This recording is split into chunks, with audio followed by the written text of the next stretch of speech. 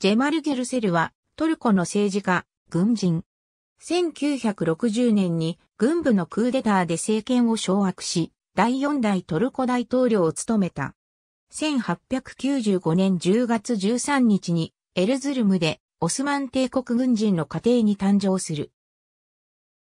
オルドの小学校を卒業後、エルズインジャン幼年兵学校、テートイスタンブールのクレリ少年兵学校、陸軍士官学校に進んだ。早くからジェマルアート、あだ名された親分肌の人物だった。士官学校最終学年の時、第一次世界大戦が勃発し、1914年10月14日より従軍した。ガリポリの戦いに第4軍団所属の少尉として参加する。ついで第41師団付榴弾砲、中隊長としてパレスチナ戦線に転じるが、1918年9月19日にメギットの戦いでイギリス軍の捕虜となり、1920年10月6日までエジプトに抑留された。後に記者になぜ捕虜収容所にいた時に英語を習わなかったのか？と聞かれたギュルセルは捕虜になった屈辱から英語ではなく、あえてフランス語を学んだのだと答えた。解放されるとイスタンブールに戻り、その後、ムスタファ・ケマル率いるトルコ大国民議会派に投じる。独立戦争に従軍し、トルコ西部の戦線でギリシャ軍と戦った。アンカラ近郊でのサカリア側の戦いにも従軍し、後に議会から独立勲章を授与された。1922年9月1日に大尉に昇進し、士官学校を教育を保管した後、1926年10月1日に入校した陸軍大学を1929年9月1日に修了し参謀となった。この間、1927年に海軍士官の娘メラハットプ人と結婚し、一男を設けた。45年にわたる軍歴では大将まで昇進。また、諜報機関の長も兼ねた。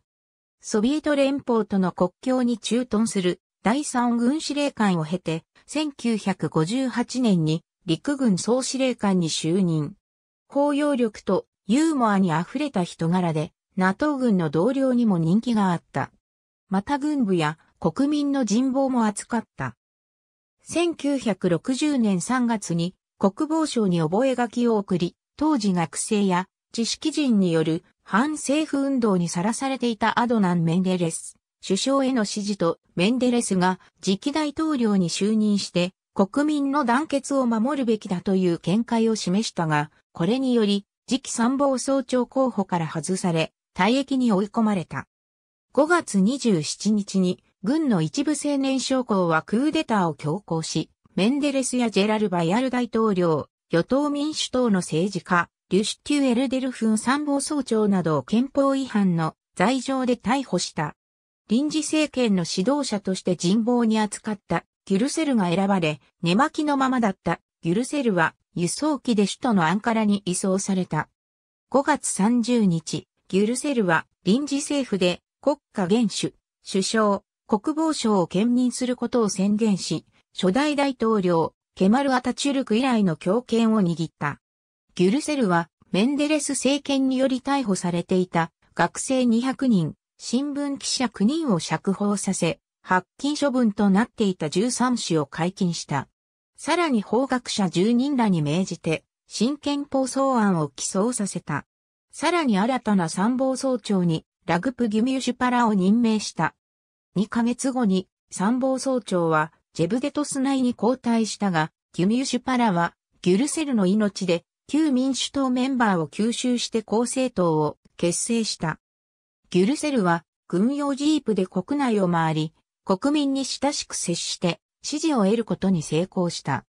またクーデターで逮捕された者の死刑を回避することに努めたが、メンデレスと閣僚2名の死刑回避は軍部により拒絶された。ギュルセルは軍部独裁に抵抗したため何度か軍部内の暗殺、クーデター計画に直面したが、クーデター首謀者らを左遷して新憲法制定と民主主義への回帰に大きな役割を果たした。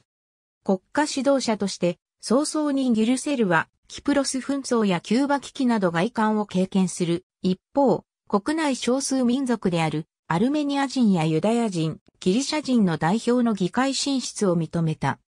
1961年に国民投票で新憲法が承認され、停止されていた国会が再開され、ギュルセルは正式に第4代大統領に選出された。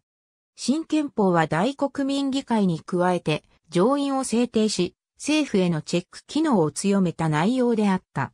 1961年11月にイスメト・イノニュが首相に就任した。冷戦の最中にソビエト連邦との融和に努める一方、アメリカ合衆国、イギリス西ドイツによる借款や技術援助などで西側諸国との関係を強化した。この結果1964年にイスタンブールに原子炉が建設される一方、欧州経済共同体諸国で特に西ドイツへのトルコ人で稼ぎ労働者が増加した。またイラン、パキスタン、アフガニスタンなど、中東、イスラム諸国との前輪にも務めた。1961年頃から、ギュルセルにはすでに発作が見られたが、病状が悪化したため、1966年2月2日に、ワシントン DC の陸軍病院に緊急空輸された。治療の甲斐なく1週間後に昏睡状態に陥ったためにトルコに戻され、3月28日に議会は憲法の規定に従い、病気を理由にギュルセルの大統領権限を停止した。遺言などを一切残せないままギュルセルは9月14日に死去し、アタチュルク病の敷地内にある墓地に葬られた。なお1988年にトルコ国家墓地に改装されている。ありがとうございます。